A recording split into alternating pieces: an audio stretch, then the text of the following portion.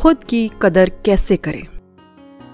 हम अक्सर इस ख्याल में लगे रहते हैं कि अपने इर्द गिर्द लोगों को कैसे खुश करें? इन्हें कितना वक्त दें?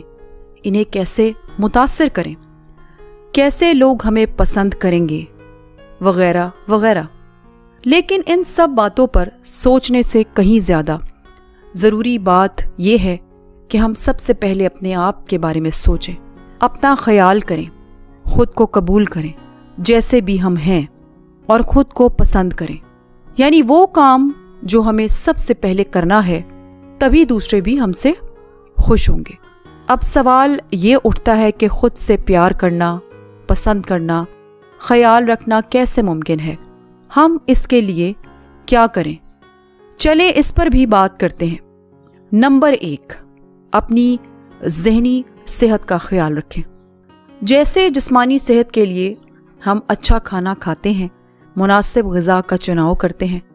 कितना खाना और कब खाना है, इन सब बातों को ध्यान में रखते हैं, मंसूबा करते हैं, अपने जिस्म को तंदुरुस्त रखने के लिए वर्जिश करते हैं।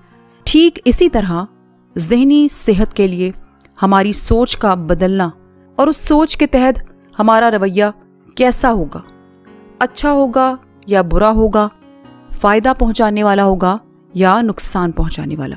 जिस तरह जिस्मानी सेहत के लिए हम गैर मुनासिब गज़ा नहीं खाते, जिसमें जंक फ़ूड सहर फहरस्त है, हम उससे परहेज़ करते हैं, एहतियात करते हैं, ताकि हमारी सेहत बरकरार रहे और हमारी सेहत ख़राब ना हो।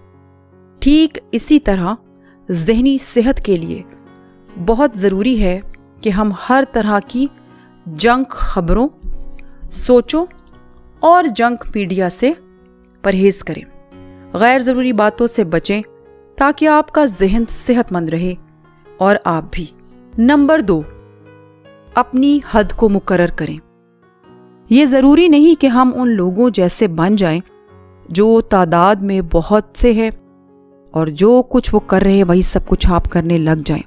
आपके जहन में यकीनन ये सवाल उठता है कि वो लोग जो तादाद में ज़्यादा हैं वो बहुत मशहूर हैं।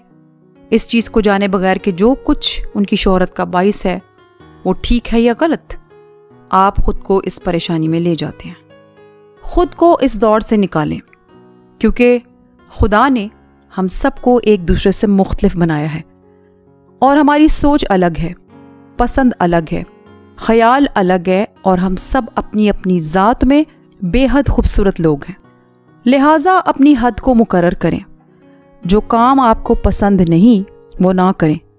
और जो लोग आपके असूलों को नहीं समझते और आपके लिए नुकसान का बाइस हैं, उनसे किनारा करें। और इस फ़िक्र में मत रहें कि सामने वाला आपको छोड़ देगा। ऐसे लोगों को साथ रखकर कोई फ़ायदा नहीं। जो आपको समझना नहीं चाहते और आपके असूलों को, उन हदूद को अबूर करने की कोशिश करते हैं जो आपकी ज़ात का हिस्सा होते हैं। अपने दायरा में वो सब करें जो आपकी शख्सियत को नुमाया करता है और आपको जहनी सुकून बख्शता है। और बहुत अहम बात कि इस बात के लिए शर्मिंदा ना हो और ना परेशान हो कि आपके कुछ असूल हैं, आपकी कुछ हदें हैं। क्योंकि ना बोलना बहुत ही बेहतरीन तर्ज अमल है और इस बात का सबूत है कि आप अपनी कदर करते हैं। नंबर तीन जो पीछे रह गया उसे छोड़ दें। उसके मुतलक ना तो सोचें, ना ही बात करें। क्योंकि उसका आपके आज से कोई ताल्लुक नहीं है, और ना ही ये सोच आपके मुस्तकबिल का तयन करती है। बल्कि इसके बरक्स, ये आपके हाल और मुस्तकबिल को बर्बाद करने की पूरी ताकत रखती है।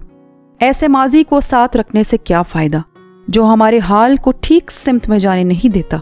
ज़रा सोचें, जो माजी की यादें हैं वो हमें हाल में अच्छी सोच और अच्छी शख्सियत के साथ आगे बढ़ने नहीं देती।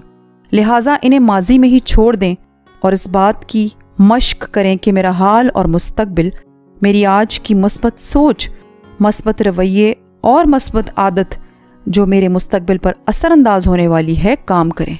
नंबर चार, बढ़ना। कहते हैं, किताब से अच्छा दोस्त कोई नहीं, क्योंकि वो हर वक्त आपके हाथ में हो सकती है। आप उसे जब चाहे पढ़ सकते हैं। और ज़रूरी नहीं कि हर वक्त हम किसी ना किसी से कोई ना कोई बात करें या किसी से कोई अच्छी या बुरी आदत सीखें। पर एक अच्छी किताब हमें ज़रूर कुछ ना कुछ सिखाती है। आपकी ज़िंदगी में आपको समझ देती है, आपकी अहमियत को बढ़ाती है, जहन को खोलती है। तो मेरी आपको ये एडवाइस मशवरा है कि हर रोज़ कोई ना कोई किताब ज़रूर पढ़ें। चाहे पाँच सफ़े ही पढ़ें, पर ज़रूर पढ़ें। यकीन माने ये बहुत बड़ा बदलाव लाएगा। आपकी ज़िंदगी में और आप नए अंदाज में सोचने लगेंगे। नंबर पाँच, अपने आप से बात करें। बहुत बार हम दूसरों से बातें करते हैं, मशवरा लेते हैं, मशवरा देते हैं, फैसले करते हैं और हमेशा दूसरों को खुद से बेहतर समझते हैं। लेकिन क्या कभी आपने खुद से बात की? जितनी बातें हम दूसरों से करते हैं, क्या खुद से की? कभी खामोशी से बैठकर सोचे कि क्या सही है और क्या गलत है, क्योंकि आपको आपसे ज़्यादा कोई नहीं समझता। आप बेहतर जानते हैं, आप कौन हैं और क्या हैं। जितनी अच्छी सलाह अपने आप को दे सकते हैं, वो कोई नहीं दे सकता। ये अमल अपनी ज़ात की कदर की जानब, वो कदम है। जो आपकी अपनी शख्सियत के वक़ार को बुलंद करती है। लिहाजा अपनी कदर करें। यहाँ मैं इस वीडियो को ख़त्म करूँगी इस बात पर।